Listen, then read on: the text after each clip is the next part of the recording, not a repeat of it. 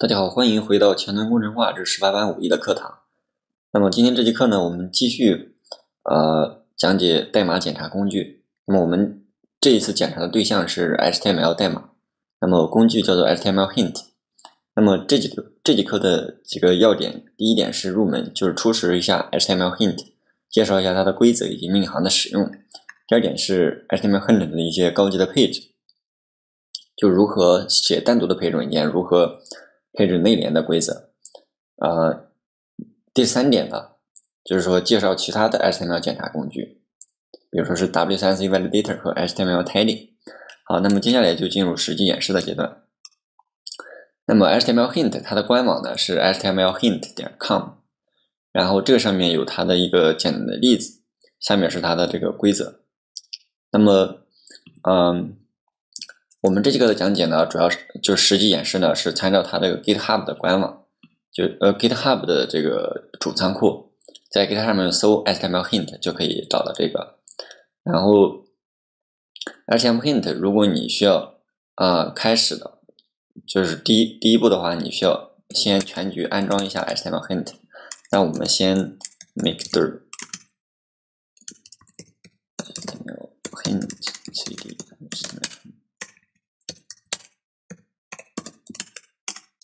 然后安装一下 HTML Hint。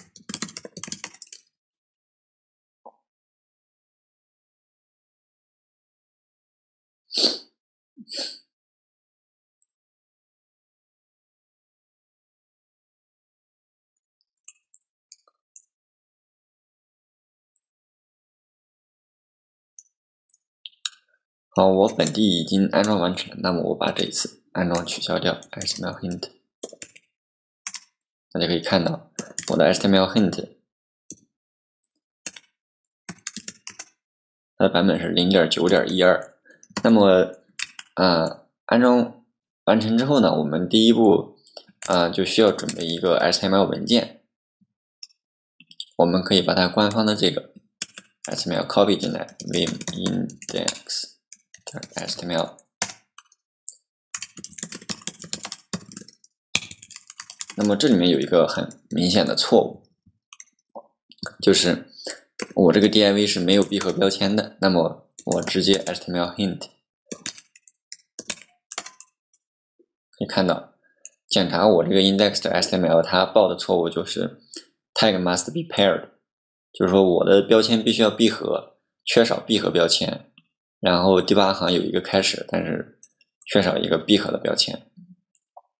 那么嗯，这个就是一上来就是跟大家实际演示了这个 HTML Hint 的实际用法。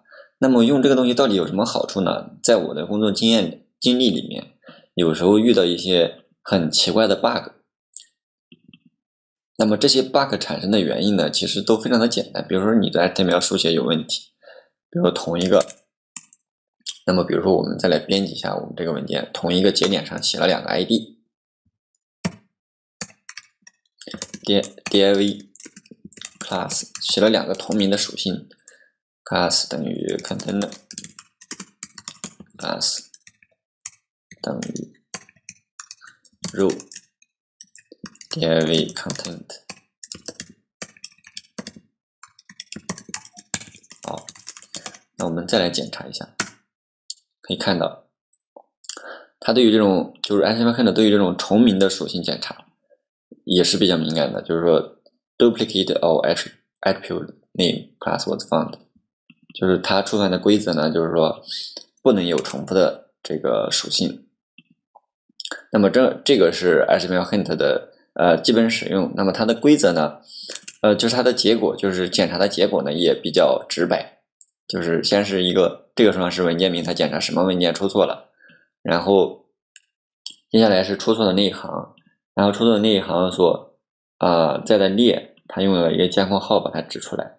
那么多多条错误呢，它是这样并排的，就是 L 第九行、第十行这样并排出来。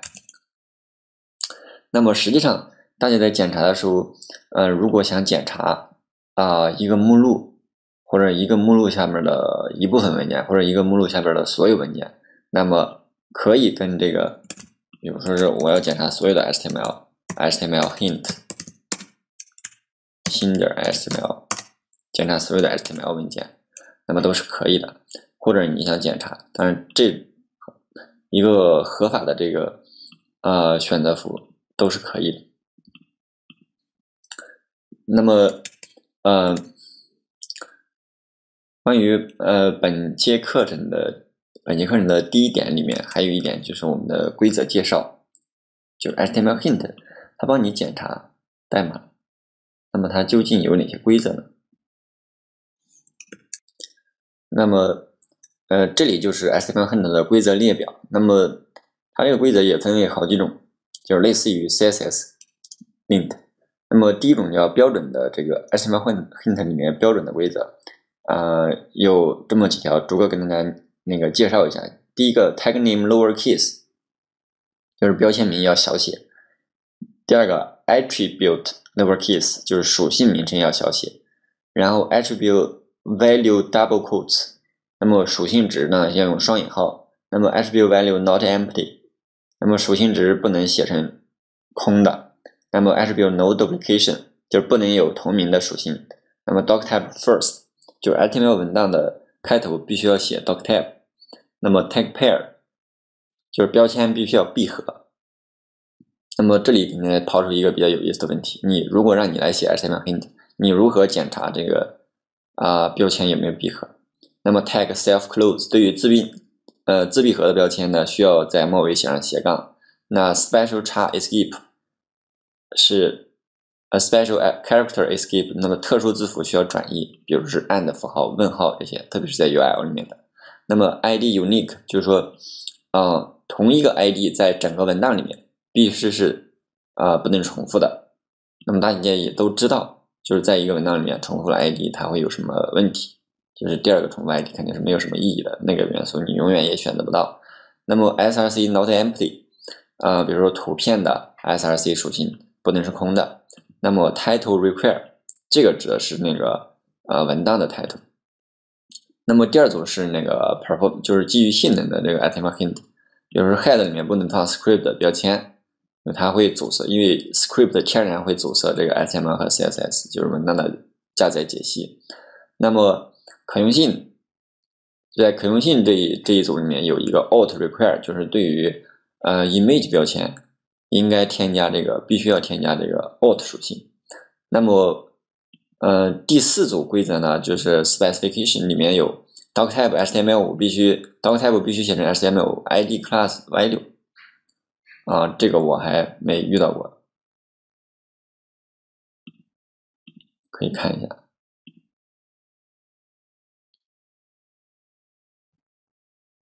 那么，ID 和 class 的这个书写规则呢，必须要是统一的。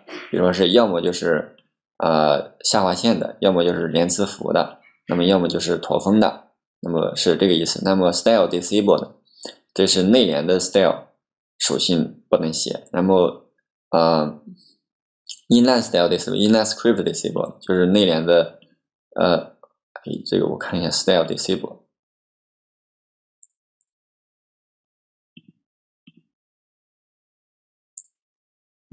那么就不能 style disable 的意思是不能用这个呃 style 这个标签，当然这个这个这个规则实际上是可以不用的。那么这个是内联的样式，不允许使用内联样式，不允许 inline script，不允许使用内联的 script，然后不允许混合这个 space table mixed disable，不允许使用这个啊 table 和空格，就是制表符和空格来混合缩进。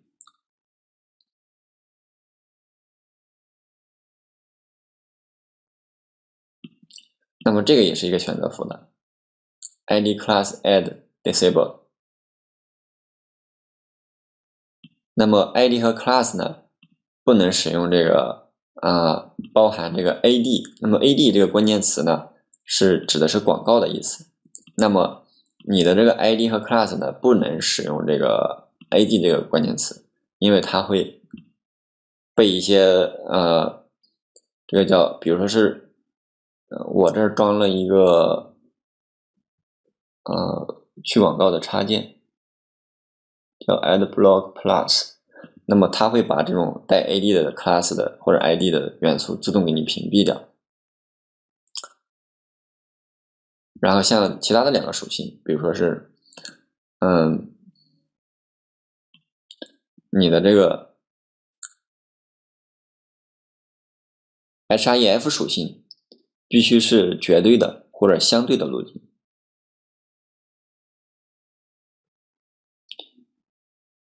但是你只能选其中的一个，当然这个在实际书写代码的时候会有一些，如果强加一条规则会有一些问题，这个一般都不启用。那么对于一些嗯不安全的字符，它这里面列出了一些，这个也比较少用。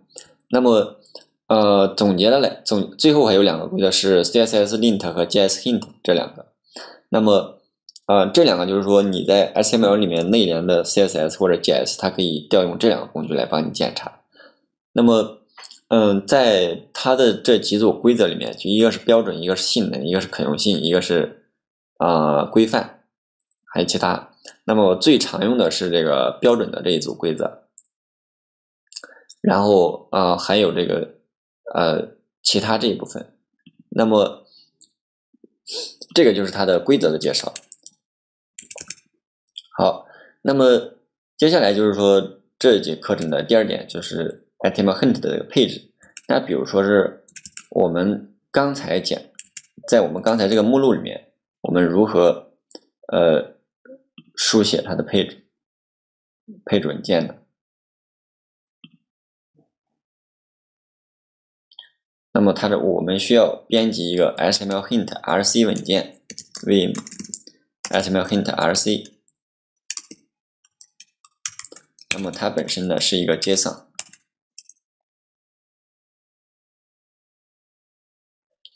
那么实际上我们可以把它这儿的内容 copy 过去。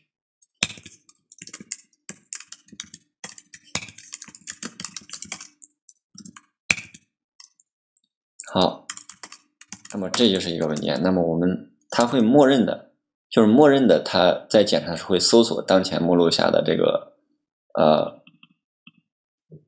HTML_hint_rc 文件，那么比如说我们继续重复执行 HTML_hint 新的 HTML，它会检查出来两个错误，然后这不过这里面它会多输出一行叫 config_loaded，然后使用了哪一个呃 HTML_hint 的配置，那么接下来我们把这个配置改一下，比如说是我们要把 tag_pair 设置为 false。我们再检查一下，那么它的错误就变成了一个，就是我们刚才那个改动呢，它的意思是，啊，这这里面 tag pair 等于 true 改成 false，意思是禁用这个标签闭合的检查。那么这个检查建议大家把它打开。那么这个是呃外部的一些配置文件，就是呃把这个 HTML_hint 的检查时的规则配置。把它写在一个单独文件里面。那么还有一种，呃，还有一种这个规则的配置方式是内联，就是直接写在 HTML 代码里面。接下来给大家实际演示，我们打开 index.html。那么，比如说是我们在这儿，就是 HTML_hint 的呃内联的规则配置呢，需要把它写在 HTML 代码的注释里面。比如说，我们要以 HTML_hint 开头，那么。啊，比如说我们要把 tag pair false，把 tag pair 禁用掉。好，那么我们再检查一下。嗯，这个要是要放在文件的开头，看一下，看一下我们的书写是不是有什么问题。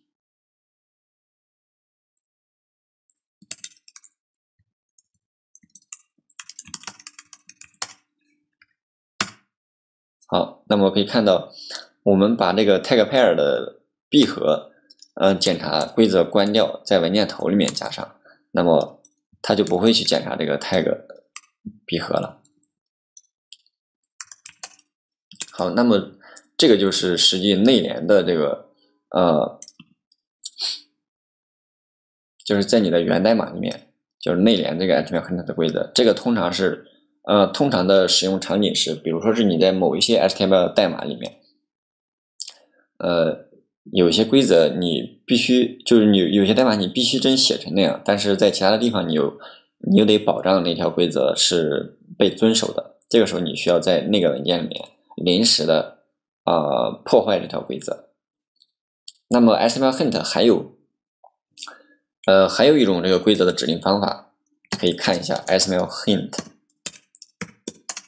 看到帮助文件，那么它这里面有一个 rules，就是 rules 的这个配置项，比如说是它的它的 rules 是呃启用，这有一个例子，HTML-hint 刚刚 rules，然后 tag pair id class value 等于 underline，然后检查这个 test HTML，那么它是指用指定了两个规则，第一个规则是 true，第二个规则是等于 underline，那么这个。呃，相当于是一共有三种这个呃 HTML-hint 呃规则配置的方法。那么关于第二点，就是 HTML-hint 的配置就介绍到这里。那么第三点，呃，还有一些其他的 HTML 代码检查工具，它们的这个出发点跟 HTML HTML-hint 也略有不同。那么我们就嗯重点介绍两个，一个是 W3 呃 HTML。就是这个叫 mark markup validator，那么它可以做什么事情呢？比如说我们在这儿把这一坨代码就是直接输入来验证，看一下它的结果。那么，那么它会报两个错误，就是一个是 unclosed element div，一个是嗯 body 闭合了，但是。前面有未闭合的其他的元素，然后它把我们有问题的地方，并且用这个黄色高亮起来了。那么这个检查工具也是比较不错的，不过它貌似没有这个命令行的工具可以供我们使用。那么还有一个叫做这个 HTML Tidy。那么这个工具呢，在这里面就不做过多的介绍，就是感兴趣的同学可以到它的官网上来介绍那个介那个研究一下，它的官网叫。Html 杠 tidy 点 org，好，那么总结小结一下这一节课。这节课跟大家介绍了呃代码检查工具的最后一个，叫做这个啊，就是对 HTML 代码进行检查工具，叫 HTML-hint。那么 HTML-hint 呢，跟 ESLint 建那个 CSS-lint 都非常的类似，需要全局安装一个 Node 的平嗯命令行工具，然后指定一个配置文件或者在代码里面指定一些内联的选项，然后运行。嗯，那么关于代码风格检查工具的呃整体的介绍，我们基本上就到这里。那么接下来一节课会跟大家介绍这个如何把这些代码检查工具整合到你的这个 Git 的工作流里面。下节课再见。